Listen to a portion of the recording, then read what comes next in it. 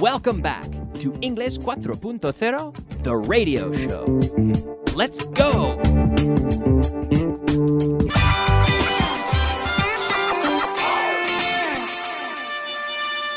Advanced. All right, welcome. Yes, welcome back, advanced students, for advanced class 39. I'd like to start off with a bit of a history lesson today. Do you like history? Yeah? Do you? Do you like history? I do. It's interesting. It's interesting, and yes, and yesterday we talked a little bit about. I talked about Rome. I talked about. Well, I didn't mention Babylon or the death of Augustus, but I did mention the. I mentioned the the crucifixion of Jesus. I was I was talking about dates, dates, and when we use BC and AD, antes de Cristo, se dice before Christ or BC, mientras que después de Cristo se dice Anno Domini. Not English. Not English at all, but I suppose Latin. In the year of our Lord, or AD. AD. So let's talk about some history here. Rome was founded in the year 753 BC. It's interesting with years. We don't we don't normally we don't say 753. Yeah. 753 BC. Jerusalem was destroyed in the year 587 BC. Babylon was taken by the Jews in the year 538 BC. The death of Socrates took place in 466 BC. I mentioned yesterday the Chinese invented paper in the year 116 BC.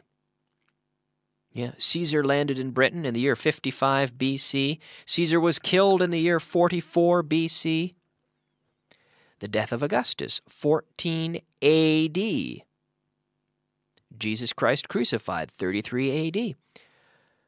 Claudius visited Britain, the year 43 AD. Uh, horseshoes. They started making horseshoes horseshoes. Yes, horseshoes. So those nice shoes for horses, horseshoes, out of iron in the year 481 AD.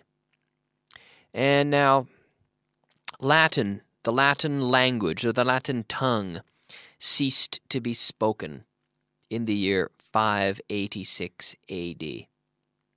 Yeah. And uh, glass the English started making glass in the year 663 AD. So there you go, glass. Um, oh, back in 135, the Romans destroyed uh, 580,000 Jews and banished the rest from Judea in the year 135 AD. There you go. Bit of history today on Vaughan Inglés 4.0. A little bit of history for you. Now it's time because you'd better get used to practicing grammar because we are going to practice it. I am used to practicing grammar. I'm used to speaking. I'm used to speaking English. I'm not used to speaking Spanish. When I came here, it took me a long time to get used to speaking Spanish. It took me a long time to get used to hearing Spanish. Okay, before we can be used to something, we have to get used to it. We have to go through the temporary transition period of getting used to something. It took me, it took me six months to get used to Spanish music. It took me three days to get used to Spanish food because I loved it, and I love it now. It didn't take me long at all to get used to Spanish food. I'm used to it. I'm used to it now. People say, but Kyle, when you were in Canada, you probably ate dinner at five o'clock. And yes, I did. When I was in Canada, I used to eat.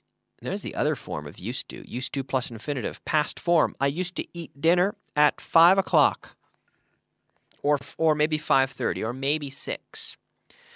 But then I came to Spain, and I had to get used to eating dinner much later. But I'm used to it. It took me, it took me a few months to get used to eating dinner late. But I'm used to it now. I am used to eating dinner late. I'm used to it. But when I go home to Canada, I I eat dinner at the Canadian time, and it doesn't take me long to get used to to uh, eating dinner early again. I, th- I think you you typically get used to your surroundings, and if people are eating dinner, well, I'll eat dinner too, and I get used to it. And within a few days, I'm back on Canadian time. I think you'll find the same thing if you ever go to North America, or well, go outside of Spain, I suppose, where they eat earlier. You will get used to the earlier time. It doesn't seem that strange once you get used to it. We can say it takes some getting used to. It takes some getting used to. It means it, it requires some time to become accustomed to it. My students always understand accustomed to because it sounds so much like the Spanish, acostumbrado a. But um, used to, it means the same thing, but it's used 10 times more often than accustomed to. Accustomed to sounds very formal. I'm not accustomed to my new watch. I'm not used to my new watch. I'm not used to using it. I'm not used to telling the time with it. I'm not used to wearing it. It feels so uncomfortable. I'm still getting used to it. I can't get used to it. I'm not used to it yet. I'm trying to get used to it, but I just can't seem to get used to it. I'm not used to it yet, but hopefully I'll be used to it soon. Okay, are you used to this structure now? It takes some getting used to, but you'll get used to it sooner or later. Okay, I used to have problems understanding this structure, but I got used to it quickly. Most of my students get used to it quickly as well. Once they get used to hearing me talk about it, they get used to the structure quickly, and uh, and it's no problem. Okay. Okay, change the following sentences to used to. It takes people a long time to get accustomed to driving on the left side of the road. It takes people a long time to get used to driving on the left side of the road. Do you want to do you want to know a trick? Listeners here at home, I'm going I'm to tell you a trick. Listen listen closely. Are you ready? I'm going to tell you a trick. All you have to do is change the word accustomed to used and the sentence is the same. It took me a long time to get accustomed to Spanish food. It took me a long time to get used to Spanish food. Well, there we go. It's a noun. There's no verb. Eh, but if I choose to use the verb to eat, then I have to use the gerund. It took me a long time to get used to eating Spanish food. It took me a long time to get used to cooking Spanish food. That's not true, though, because it didn't take me long at all to get used to it. It took me a long time to get accustomed to Spanish bureaucracy. That's true. It took me a long time to get used to Spanish bureaucracy. It took them months to get accustomed to my accent. It took them months to get used to my accent. Good. All right. Expression of the day. Yes, it is time for our expression of the day. Our expression of the day today is to let sleeping dogs lie. Let sleeping dogs lie. So the dog is sleeping. He won't bite you because he's asleep. If he doesn't know, he can't hurt you. Let sleeping dogs lie. Listen, if they if they don't know about the problem, we can solve it. And they're never going to find out.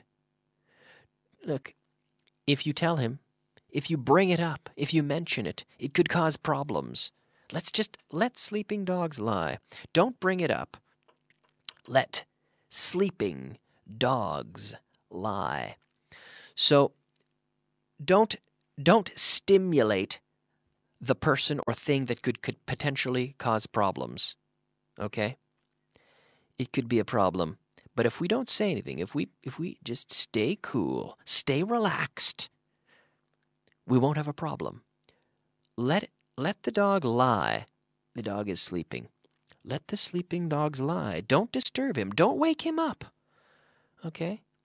Avo- it's use it to avoid problems. So when there's could potentially be a problem, you just want to say, let's be careful here. Let's let sleeping dogs lie. Okay? That's our expression of the day to let sleeping dogs lie. Good. So, are you used to my structure yet? Or are you still getting used to it? I think you're used to it by now. Do you need do you need more time to practice it or are you used to it yet? You're already used to it? Okay. Good. Vocabulary of the day. All right, yes, it's time now for our vocabulary of the day. The vocabulary of the day, starting with the word cumplir, bueno, dos palabras en español y tres en inglés. Cumplir con. To comply with. To comply with. I have to comply with the rules. I have to comply with the laws. Hmm. We all have to comply with the laws. No exceptions. I can't ask for exceptions and I can't expect to be treated differently because we all have to comply with the same laws and the same rules, right? To comply with the rules. Cumplir con. To comply with. Good. Meticuloso. Meticulous. Meticulous. He is he is very very meticulous when it comes to cleaning his house. He cleans every little area. He's very meticulous with his work. He's very meticulous with keeping his desk clean and organized. He's very meticulous. He pays attention to all the finest details. Okay. Quejarse de. ¿Cómo se dice eso? Quejarse de. To complain about. To complain about. Do you complain about the weather? No? Oh, good. Do you complain about English being too difficult? Don't complain, because Spanish is tougher. Don't complain about it. Don't complain about English grammar. Think about how, how difficult Spanish grammar is. So don't complain about it. To complain about. Quejarse de. To complain. Complain about. To complain about. All right. Very good. Especias. Especias. Mm, like Indian food. Contains a lot of especias. Spices. Spices. Now be careful, we don't say uh spices, but spices. Spices. Spicy sauces. Spicy. Picante, spicy. It contains a lot of spices, so it's spicy. It tastes very spicy. Spicy. Do you like spicy food? I like spicy food. I went to Mexico once, and the food was very spicy. Muy picante. Very spicy. It was hot. It was spicy. Yes. I like spices, but I don't like I don't I don't like them you know, I don't I don't like trying to put them all I don't I don't put so much so many spices on my food that I'm torturing myself, you know, with it being too spicy. But uh, I do like spices and spicy food to a certain extent, hasta cierto punto, to a certain extent. How do you say in English grúa para remolcar? Grúa. Tow truck. Tow truck. Tow truck. He called the tow truck to tow our car away. Terrible. The tow truck. La grúa. The tow truck. So, does living in Madrid take some getting used to? To take some getting used to means to require a period of becoming accustomed to something. Does, t- does living in Madrid take some getting used to? No, living in Madrid doesn't take much. It takes a little bit of getting used to, but it doesn't take much getting used to. But if you're going to move to Bangladesh, living in Bangladesh would take some getting used to. Absolutely. Living in Nigeria would take some getting used to. Living in Madrid? No. It doesn't take much getting used to. It takes a little bit. It takes some getting used to, but not much. Do new, do new phones take much getting used to? No, new phones don't take much getting used to. They're pretty easy to get used to. Does changing phone operators take much getting used to? No, they're pretty similar. They don't take much getting used to. Do new jobs take much getting used to?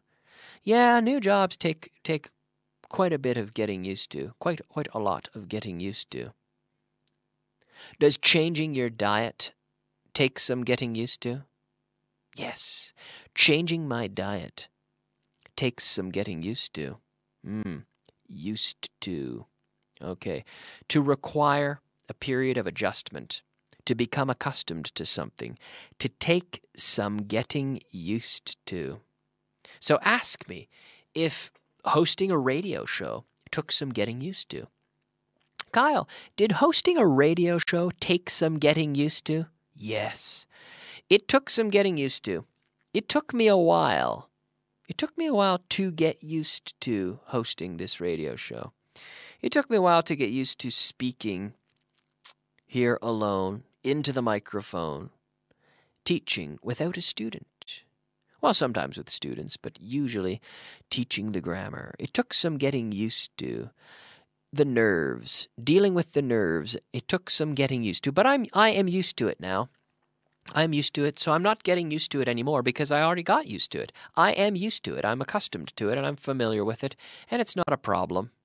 I enjoy it. I enjoy recording radio shows because I got used to it and I am used to it. Okay? So I'm going to leave you now.